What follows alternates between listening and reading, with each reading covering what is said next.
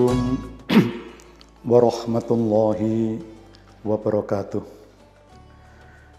بسم الله الرحمن الرحيم. الحمد لله الذي أتانا لهذا وما كنا لنهتدي لولا أن هدانا الله. لقد جاءت رسل ربنا بالحق ونوتوا أن تلكم الجنة أورثتموها بما كنتم تعملون أشهد أن لا إله إلا الله وأشهد أن محمد رسول الله صلى الله عليه وسلم. Wa ala alihi wa ashabihi amma bada. Rabbis rohli sadri wa yasirli amri wa hlul uqtatam min lisani yafqahu qawli. Saudaraku kaum muslimin yang berbahagia,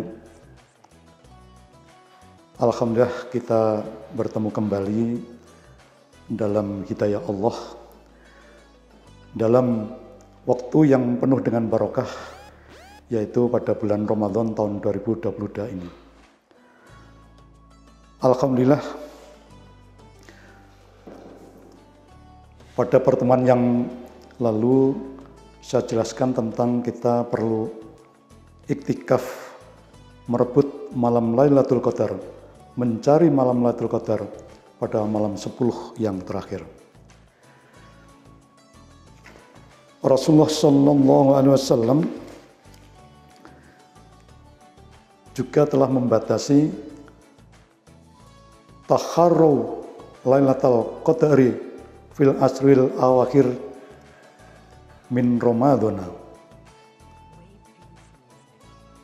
Carilah malam Qadar itu, malam yang berpangkat itu pada malam 10 yang terakhir dari bulan Ramadan.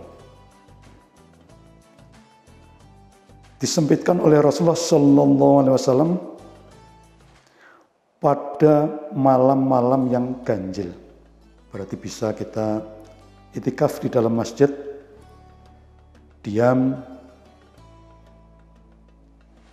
dusakan, HP di silent, dimatikan, kita banyak zikir, takarub ilallah, mendekat pada Allah, kita membaca doa-doa Salah satunya doa yang diriwayatkan dalam hadis adalah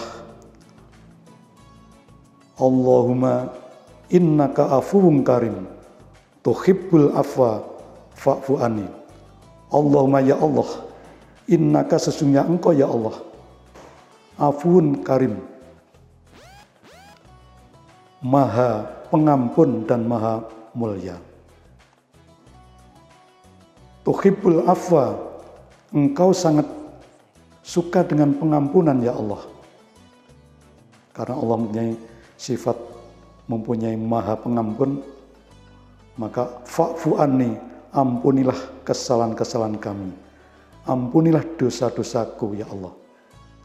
Dengan kita memperbanyak Allahumma innaka afun karim.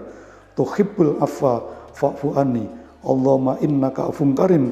Tuhibbul afwa fa'fu anni dibaca sebanyak-banyaknya, insya Allah dosa-dosa kita oleh Allah akan diampuni oleh Allah.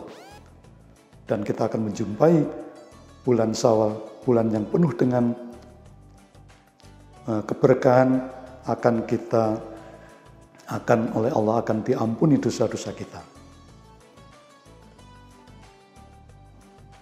Dan pemirsa media Partai Golkar Kabupaten Kediri yang berbahagia.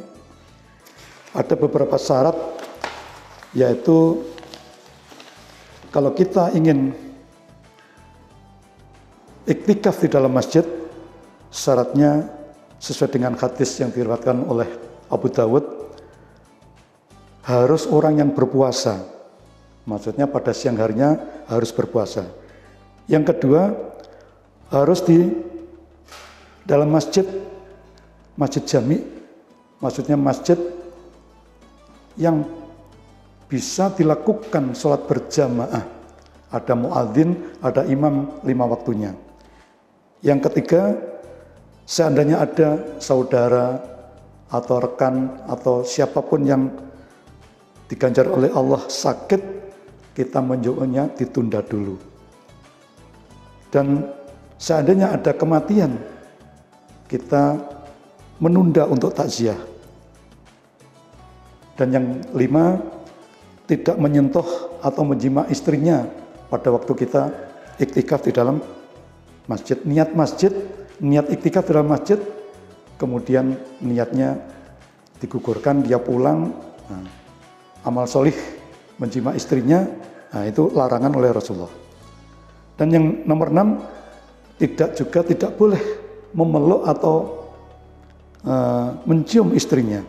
Dan yang terakhir, tidak keluar dari masjid, tetap di dalam masjid untuk iktikaf, niat iktikaf, diam, zikir, doa, Allahumma innaka afun karim tuhibbul afa fa'fu anni, kecuali keluarnya adalah hajat-hajatnya manusia, yaitu hajat yang tidak bisa di, ditunda, yaitu pipis atau buang air kecil dan buang air besar. Demikian yang dapat saya sampaikan dalam uraian pertemuan yang barokah ini. Mudah-mudahan Allah memberikan manfaat dan barokah bagi kita semua. Usikum wa nafsi bitaqwallah. Wassalamualaikum warahmatullahi wabarakatuh.